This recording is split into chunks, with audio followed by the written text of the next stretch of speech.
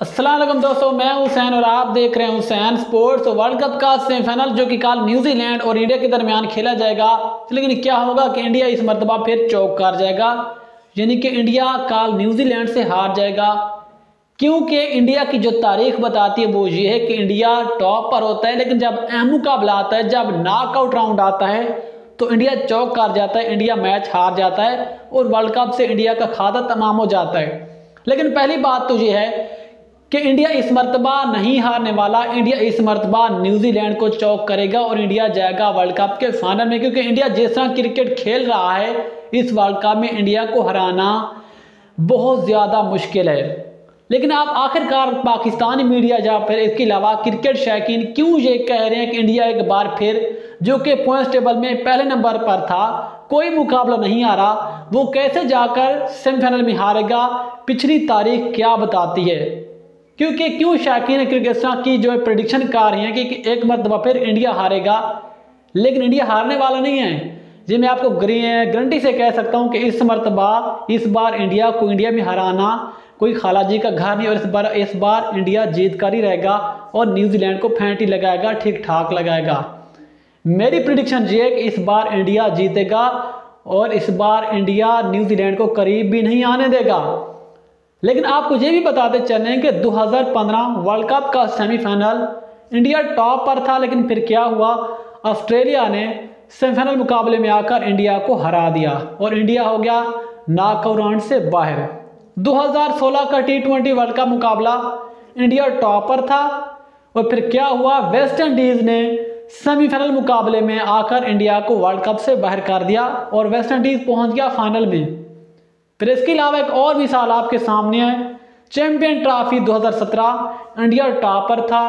और पाकिस्तान बड़ी मुश्किल से फाइनल में पहुँचा, फिर क्या हुआ? जो कि इंडिया फेवरेट थी, लेकिन फिर पाकिस्तान ने बगैर किसी मुकाबले के चैंपियन ट्रॉफी में सरफराज अहमद की क्यादत में पाकिस्तान इंडिया को फाइनल में हरा दिया। फिर क्या हुआ? 2019 का वर्ल्ड कप आ गया। इंडिया जो कि टॉप पर था, वर्ल्ड कप को जीतने के लिए फेवरेट था और सेमीफाइनल मुकाबला आ गया इंडिया का न्यूजीलैंड से। और फिर क्या हुआ? यानी कि इंडिया हार गया और न्यूजीलैंड पहुँच गया फाइनल में। फिर इसके बाद क्या हुआ? सबको पता है कि फिर आया 2022 का टी ट्वेंटी वर्ल्ड का मुकाबला, जो कि ऑस्ट्रेलिया में खेला गया। और फिर इंडिया का मुकाबला आया इंग्लैंड से। और सब यही कह रहे थे कि इंडिया इस बार हारने वाला नहीं है और इस बार इंडिया इंग्लैंड को हराएगा।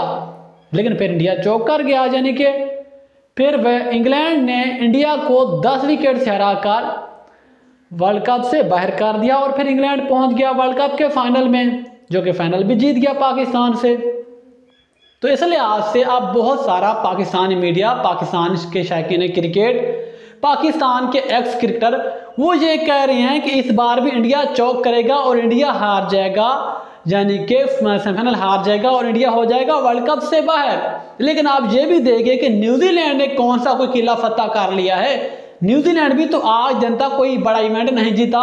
वो भी सेमीफाइनल में जाकर या फिर फाइनल में जाकर हार जाता है। सबको पता है कि न्यूजीलैंड, जो कि हर आईसीसी के इवेंट्स में फाइनल में या फिर सेमीफाइनल में जाता है, लेकिन वो जीत नहीं पाता।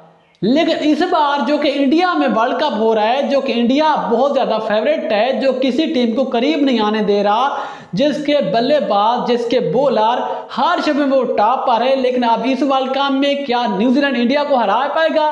मेरे ख्याल में ये बहुत ज़्यादा मुश्किल है कि इस बार न्यूजीलैंड इंडिया को हरा हरा पाएगा।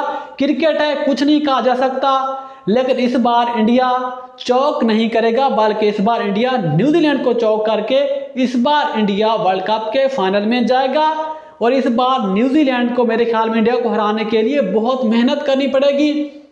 तो इस लिहाज से इस मरतबा इंडिया तारीख को नहीं दोहराएगा, बल्कि इस बार इंडिया कुछ नया करेगा और इंडिया इस बार जाएगा फाइनल में, जो मुझे लगता है कि इस मरतबा इंडिया इस मुकाबले को जीत चुका है और बल्कि ना सिर्फ़ ये वाला मुकाबला जीत चुका है, बल्कि ऐसा लगता है कि इंडिया ये वाला वर्ल्ड कप भी जीत चुका है, जैसा इंडिया क्रिकेट खेल रहा है। लेकिन आपके ख्याल में क्या इंडिया हमेशा की तरह सेमीफाइनल में चौक कर जाएगा जहाँ पर इंडिया इस मुकाबले में न्यूजीलैंड को हरा कर फाइनल में पहुँच जाएगा? अपनी कीमत कमेंट सेक्शन में ज़रूर बताएँ। तो मजीद खबरों और अपडेट्स के लिए देखते रहिए हुसैन स्पोर्ट्स।